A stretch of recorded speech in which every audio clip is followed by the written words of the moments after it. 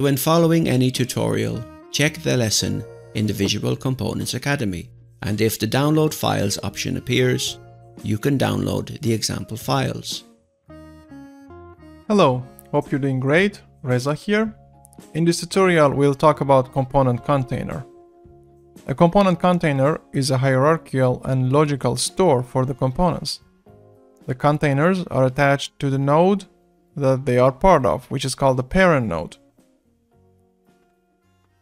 Container is a type of behavior so if I go to this first area, click on the feeder, check the template behaviors on the material flow, you can see the template behavior for component container. If I extend the tree of this feeder process, you can see the behavior also called component container. It has a few properties, the name of the container, the visibility under product property panel, the statistics behavior that collects the data from this component container because it shows the parts that came in and left. The capacity of this component container, how many parts it can take at a time. The capacity blocks, it defines a list of capacity controller behaviors for globally defining the container's capacity. That's in order to avoid deadlock situations the transition signal, which defines a boolean signal to start the arrival and departures of a component in the container. A true value signals the arrival and a false value signals the departure of a component. And the location where this container is attached to. So to which frame? Right now is interface frame. You could also attach it to some other frame if needed.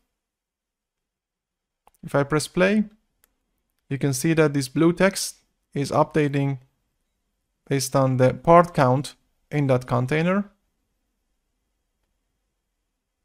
It shows a dynamic value. So now there is a part in feeder. It shows one and then it shows zero when part leaves and the same thing for the sink side.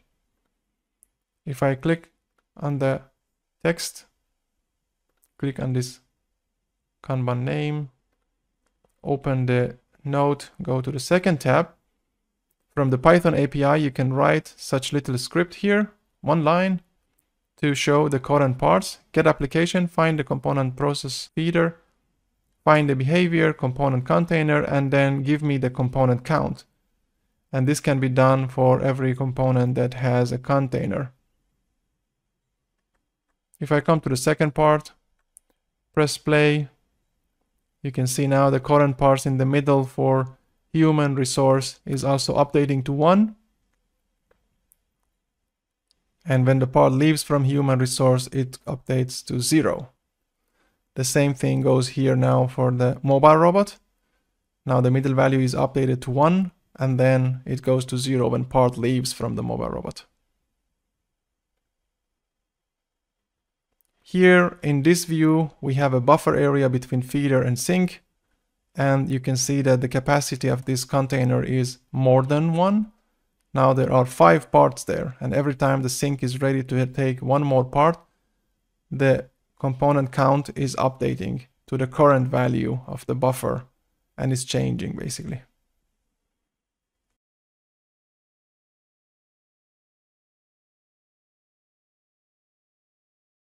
Next we have the robot. If I press play, you can see that now robot, this middle value shows it's carrying a part and now it's carrying no part. So part goes from the component container of the feeder to component container of the robot and then to the sink. Let me click on the robot. Let's see where is the value, the component container for the robot. So if I scroll down, you can see that the robot has six axes. These are all nodes and it has the mount plate node and it has the grasp container there. So the mount plate node is the parent node of the container in the robot. And the last but not least, if I press play, you can see that parts are now coming on the conveyor. If I speed it up a little bit. Now there are three parts on the conveyor. And what is a conveyor? If I click on it, and extend the tree, you can see that parts are moving on conveyor, but there is no component container. Well, here there is a path. If I go under behaviors, and here we see on the material flow a one-way path and a two-way path.